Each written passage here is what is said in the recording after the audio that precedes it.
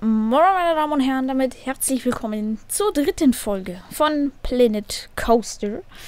Ja, wenn es euch gefällt, lasst gerne einen nach oben da, schreibt wieder was in die Kommentare und wenn euch meine ganzen Videos gefallen, könnt ihr auch sehr gerne den Kanal abonnieren. Und äh, ja, jetzt fangen wir mal an. Also, was ich schon mal gar nicht so gut finde, ist, dass ich hier Minus bin. Das gefällt mir gar nicht, das ist doch ein super Einstieg. Wenn man hier mal wieder nach langem in den Park kommt und erstmal sieht, oh, jetzt habe ich wieder Geld. Ähm, soll ich eigentlich überhaupt nicht sagen. Also, wir sind hier bei unserem Kreisel, Kreisverkehr, ne? Den linken Bereich haben wir jetzt schon ausgebaut. Hier soll nichts anderes mehr hin. Also ich habe mir auch nochmal mein letztes Video angeguckt. Da sollte wirklich nur das sein. Ähm, dass man hier nur essen und trinken kann. Und hier und hier wusste ich halt nicht, was hier hinkommt. Allerdings habe ich auch, als ich das Spiel gestartet habe, habe ich einen sehr interessanten Hinweis vom Spiel gekriegt. Und zwar, dass die Leute nur auf Fahrgeschäfte gehen, die ihren Nervenkitzel und Über, äh, Übelkeitstoleranzen entsprechen. Und das ist eigentlich ein ganz interessanter Punkt. Das heißt, ich muss gar nicht allgemein gucken, okay, wie viel Nervenkitzel hat das und ist das im grünen Bereich, sondern ich muss eigentlich nur gucken und ich glaube, das geht hier unter Gäste. Kann man hier nämlich irgendwie... Ah, ne, das kann man doch nicht angucken. Diagramme? Nee. Ach, schade. Weil ich dachte, man konnte hier irgendwie sehen, dass, ähm... Ja, wie viel die... Was deren Grenzen sind. Okay. Aber da, da, da müssen wir mal einen Blick drauf werfen. Allerdings müssen wir erstmal neue Fahrgeschäfte irgendwie besorgen, weil mit dem hier kann es nicht weitergehen, zumal das immer noch viel zu voll ist. Deswegen machen wir das direkt mal teurer. Wir stellen das mal auf 20. 2050? Nein. 2050 vielleicht.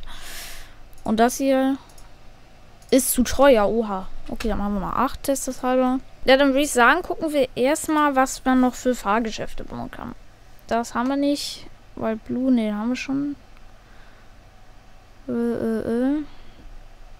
Loop da Loop, was bist denn du? Was siehst du das? Ah, so eine Schiffsschaukel, ne? Könnte sein. Ich glaube, das ist so eine Schiffsschaukel. Ja, nee, sowas mag ich nicht. Eigentlich dürfte ich dann gar keinen Park haben, weil ich mag alles nicht, aber. Oh, sowas sieht cool aus. Schön klein. Ja, ich glaube, sowas kann man hier irgendwie hinbauen. Hier so. Nur dafür brauchen wir Geld. Und das haben wir nicht. 13 Leute haben hier schon eingekauft, Mensch. Vielleicht ist es dann zu teuer, dann mache ich mal 7. Was ist das denn?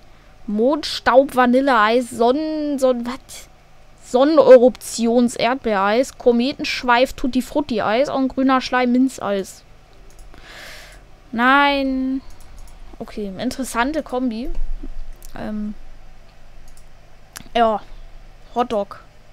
Wie viele haben hier eingekauft? Zwölf. Ist vielleicht auch dann, ich mache das mal alles günstiger. Hier 10 und 6. Es gibt. Auf welchem Freizeitpark oder auf welchem Freizeitpark war da? Äh, in welchem Freizeitpark kauft man den Hotdog für 12 Euro? Äh, Dollar haben wir ja, aber, ne? Einige Läden sind sehr überlaufen. Ja. Das stimmt. Das ist eigentlich auch total geschäftsschädigend, weil der gleiche Laden steht ja hier hinten. Und der für, äh, bietet das ja zu einem anderen Preis an, fällt mir gerade auf. Warte mal, dann machen wir hier mal den Haken rein. Ja. Das kann man nicht überall mal machen. Dass es überall gleich viel kostet. So. Jetzt müssten hier die Preise auch anders sein, korrekt? Jo. Okay, dann äh, den besuchen auch zu viele. Ja, das stimmt. Und Essen. Ihr habt das Gefühl, ihr habt nicht so Bock auf Essen, ne? Also ja, doch, hier der Burgerladen, der geht ganz gut, aber irgendwie der Rest hier hinten überhaupt nicht. Vielleicht müsste man andere Sachen erforschen, doch dafür brauche ich Geld und das habe ich nicht.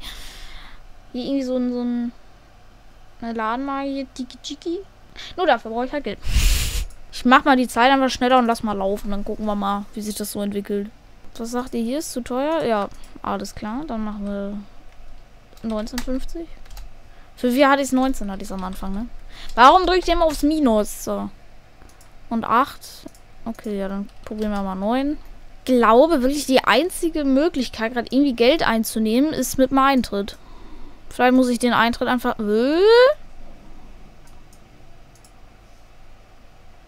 Das Standard-Ticket hat einen total hohen Preis. Will ich verarschen?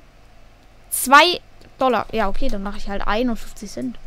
Aber gratis kommt hier niemand. Das sehe ich überhaupt nicht ein. Ich wollte es gerade teurer machen. Dann heulen hier die ersten rum. Ja, nee, ist zu teuer. So, hier mal gucken. Rennen ihr rein. Kommt an, kommt an, komm an. Jawohl. Und die nächsten? Gehen auch rein. Das erste, was sie denken, sie kommen rein. Äh, äh, kommt in den Park rein. Das erste, was er sagt, so lang war die nicht. Und, jetzt ist es leider weg, aber gerade eben sagt er dann auch noch, ja, äh, Wünsche gibt mehr Fahrgeschäfte, Allah. Ich überlege gerade, vielleicht ist das total dumm, dass ich die ganz vorne hinstelle. Wenn ich den erst machen würde und dann die Läden dahinter kommen. Vielleicht. Vielleicht aber auch nicht. Ich weiß es nicht. Sah aus, als wäre voll, ja, Leute. Dann heult doch nie rum, dass es zu teuer ist. Okay, wartet, wir machen das anders. Wir schließen das. Und dann baue ich hier eine längere Warteschlange hin. Oh ja, wieder neu dekorieren. Äh. Ja, aber ich glaube, das ist das Beste, weil wenn ich hier die ganze Zeit mit dem Preis rumspiele, dann heulen sie bei einem Cent mehr dann wieder rum. Ja, nee, zu teuer, Mini. Nur habe ich kein Geld dafür, um die Warteschlange länger zu bauen. Dann muss ich das hier halt einmal einen Ticken teurer machen. Und jetzt einmal auf Pause drücken und dann diese Warteschlange entfernen. Das macht natürlich auch Sinn, ne? Ich verkaufe einen Weg, aber äh, verliere mir... Ach, komm. Rückgängig. Ja, okay. Dann müssen wir das jetzt öffnen. Und wenn das jetzt wieder keinen Profit bringt, dann müssen wir halt wirklich auf einen... Ja, okay, doch, es bringt Profit. Aber dann müssen wir wirklich auf äh, einen Kredit zurückgreifen. Das ist, dass ich wirklich auf diese Fahrgeschäfte, wenn ich die nicht habe, dann bin ich direkt pleite. Also... Jetzt ist wieder zu teuer. Alter, Leute, entscheidet euch doch. 1950. Eintritt. Vielleicht mal mit ihm mal wieder dick teurer. Und dann machen wir 1,50. Und ein. So, wie einer heult jetzt rum. Dann. Okay, sieht aber so aus. Jetzt. Äh, so viel ist das Familienticket nicht wert. Okay. Dann machen wir hier noch 50 Cent. Was anderes, was ich jetzt überlege, ist, wenn ich jetzt irgendwie gleich 600 Dollar oder sowas habe oder 800, wie wir einmal kurz hatten. Wenn ich dann Pause drücke, einfach den Weg abreiße. Dann ist natürlich auch wieder typisch, dass ich jetzt Minus mache, wenn ich gerade davon rede, dass ich mehr Geld will. Aber so, wie ist hier mit Preis? Preis gut, Preis nicht gut? Sieht nicht so aus, als würden sie sich beschweren. Das ist schon mal ganz gut. Jetzt ist es ein Schnitt. Alter, Leute! Entscheidet euch bitte. Noch, Dollar, äh, noch teurer. 12 Dollar. Hallo. Nein, nicht 10 Euro. 12. 12. So. So, wie ist hier bei den Läden? Was geht hier ab? Wollen wir so machen. Nach Chief Beef muss ich mal. Nein! Hat ein technisches Problem. Techniker unterwegs. Ja, bitte, mach hinne. Sonst bin ich pleite und du bist dein Job los.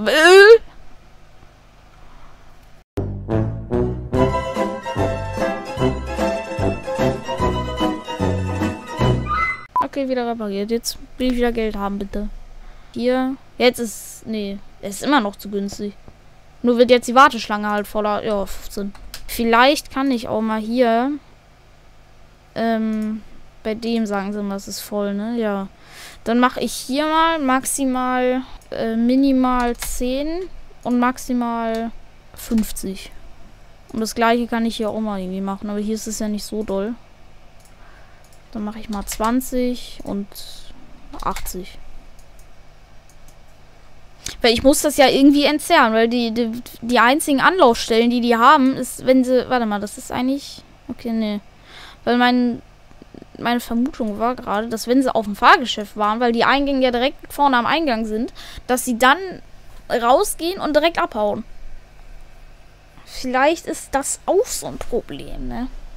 Boah, ich weiß nicht. Was ich aber weiß, dass ich immer noch Minus mache. Wie läuft hier hinten bei euch? Nicht gut. Ihr macht nur Minus. 58 Verkäufe, 38, 48 und 218. Der hier lohnt sich. Die wollen, glaube ich, echt einfach nur was zu trinken haben. Wisst ihr, was ich jetzt mal mache hier? Ja, Forsche ist hier so eine Ladenmarke. Das sieht mal zwar ein bisschen Geld, aber dann kriegen die ein bisschen Abwechslung, was Trinken angeht, weil ich glaube, momentan haben wirklich nur das, ne? Ich glaube, was anderes zu trinken gibt es gerade gar nicht. Gibt nur Guzmiko. Klingt wie Russisch. es ist denen einfach zu voll. Jetzt wird zwar ein bisschen weniger, aber ich glaube wirklich, weil der Preis zu niedrig ist. Dann mache ich mal 17. Weil irgendwie muss ich ja das so hinbekommen, dass die nicht sagen, ja, nee, ist zu voll. Und das kriege ich eigentlich nur hin. Oh, schade. Und das kriege ich eigentlich nur hin, wenn ich sage, nee, soll bitte ein bisschen teurer, weil dann heulen die nie rum. Weil dann gehen weniger, also automatisch weniger drauf. Dann astronomisch sieht voll aus. Okay, ich glaube, jetzt ist es zu teuer den meisten. Aber es wird weniger. Meine Sorge ist nur gleich, dass wenn die 27% jetzt hier weg sind, dass dann gleich irgendwie 80% geht. Ja, nee, zu teuer wie nie. So, Leute. Und dann würde ich sagen, war es das mit der Folge Planet Coaster. Wenn es euch gefallen hat, lasst ihr gerne einen Daumen nach oben da. Und dann sehen wir uns beim nächsten Video wieder. Ciao.